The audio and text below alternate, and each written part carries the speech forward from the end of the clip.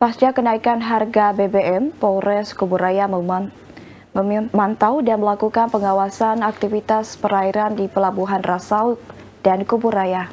Ya, hal ini dilakukan guna memastikan aktivitas perairan tetap berjalan normal pasca kenaikan harga BBM.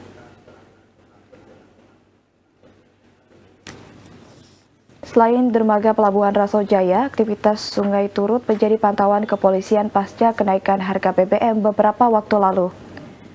Meski dampak kenaikan BBM dirasakan langsung oleh masyarakat, namun tidak terdapat gejolak di mana aktivitas angkutan sungai serta nelayan yang ada di Pelabuhan Raso Jaya tetap beraktivitas seperti biasanya. Kapolres Kuburaya AKBP Zerot Hayekumontoy mengatakan, Patroli ini dilakukan selain mengetahui kondisi masyarakat yang terdampak, juga memastikan wilayah Kuburaya khususnya area perairan tetap menjalani rutinitas sebagaimana mestinya.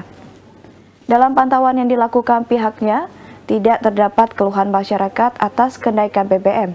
Namun, Kapolres meminta agar masyarakat tetap menjaga kondusivitas. Selain melakukan pemantauan wilayah perairan, Pihaknya turut menyambangi warga terdampak atas kenaikan BBM dengan memberikan bantuan pangan di wilayah Kecamatan Kubu.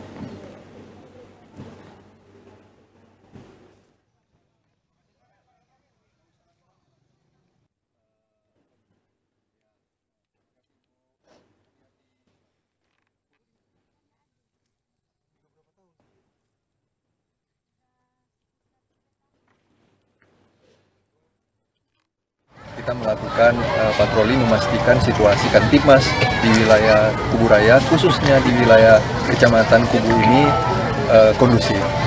Dan di samping itu tadi juga uh, kita membagikan beberapa bantuan dari Polres. Dan secara uh, overall kegiatan ini saya nyatakan uh, wilayah Kubu ini kondusif aman. Jangan termakan soal berita-berita hoax karena berita-berita hoax itu sebenarnya yang akan menjerumuskan uh, masyarakat yang tidak memahami apa yang menjadi kebijakan dari pemerintah. Yang dirasakan sekali kak yang naik itu apa apa kak? Yang kebutuhan memang kebutuhan sehari-hari. Beras, bawang, kan pada naik Terus, semua. Kesehariannya kakak memang cari sendiri atau Iya sendiri. Kerja? Kerja.